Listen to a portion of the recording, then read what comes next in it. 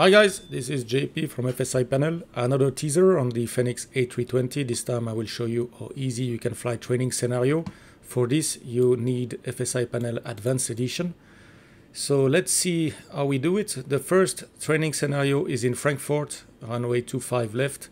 So I just loaded the aircraft as you can see with engines running on runway 25 left in Frankfurt. So let's start FSiPanel and you will see what you have to do to fly a training scenario. On this training now I will drag and drop the file over my desktop and you can see that the training scenario has been imported successfully.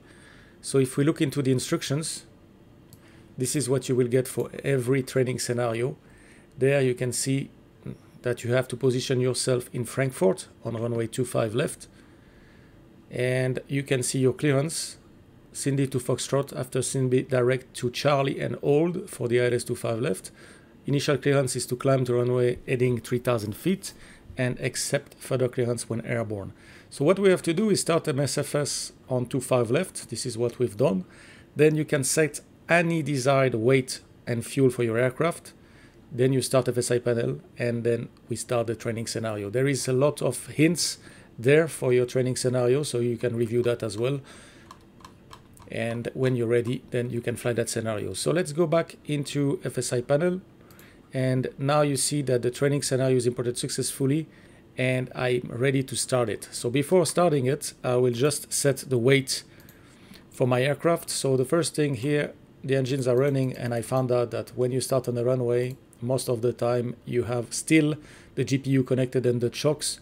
So that's the first thing I will do there, remove the chocks and the GPU. And the mass and balance, there you can change your weight as desired if you want an heavy aircraft or a lighter aircraft. Change the weight as you like here. So on that flight, I will just leave it standard. I don't want to change anything, so I will use those figures.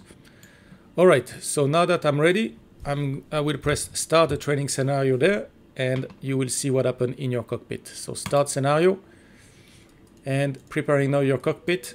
So you will see that FSiPanel is now doing everything for you, setting all the lights and setting your cockpit. Now the MCDU will be programmed with the flight plan that you need to fly for that training scenario. It's a local flight, so FSiPanel will set everything for you so that you can fly that training scenario. So you can see now the flight plan, the uh, cruising altitude, the cost index will be set.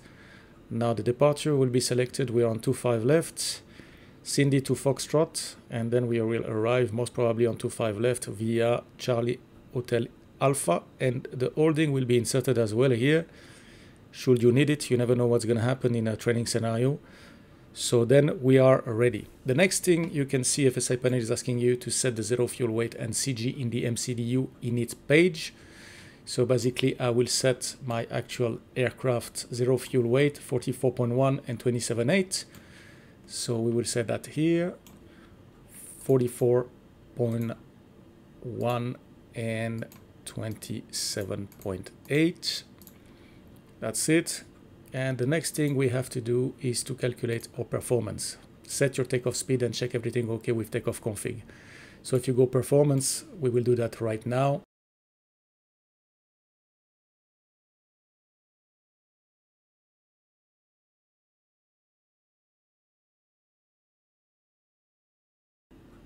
Now we're gonna test again and takeoff config is normal.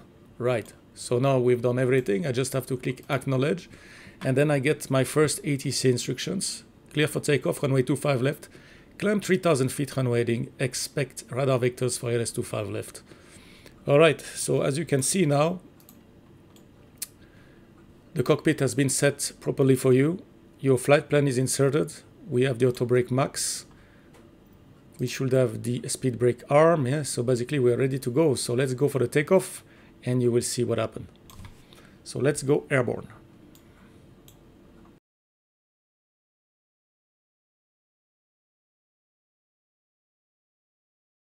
Alright, just departed, airborne, climbing above 1000 feet. We were clear runway heading, now we get an instructions, turn left heading 160, climb and maintain 3000. Before acknowledge, make sure you do whatever you're required to do. So heading 160. Climb and maintain 3000. We have already 3000 in the FCU. So that's perfect. So 160. Here we go. Acknowledge. Revert to climb.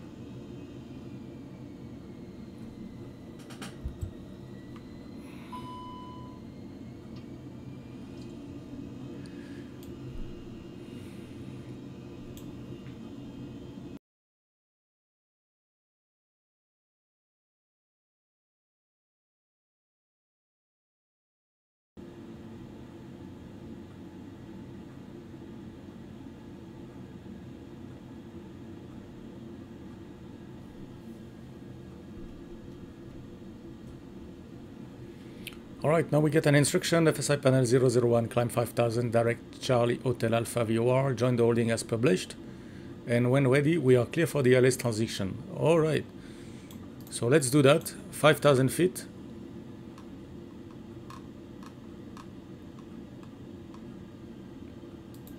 Up climb, and then direct to Charlie. Inserted, a nav, turning to Charlie. We'll get ready for the approach. We were told to expect ILS 25 left, so at that time I will start approaching, doing my briefing. I have time because I'm going to the holding anyway, so that's not a problem. Oh, now I can see that I have something on my left engine. Looks like the oil pressure is low, so we have to be careful with that. So luckily for us, we are very close to the uh, Charlie waypoint and we're already clear for the approach. So here I will prepare my MCDU and everything. And as you can see, that's not a good sign. If you lose a little bit more pressure, then you will lose your engine. So be careful there.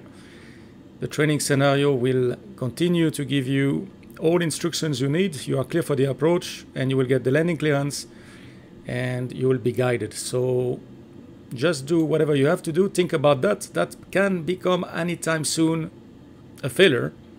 So that's it. FSiPanel will keep you entertained. And oh, that's it. We've got engine one, low pressure, master warning, and now I have to take the ECAM actions and shut down the engine for a single engine approach in Frankfurt. Alright guys, I hope you enjoyed that video. I wish you as always safe flight and if you have any question or comment, please please drop it below. And please don't forget to subscribe to my channel. Thank you and see you next time. Bye bye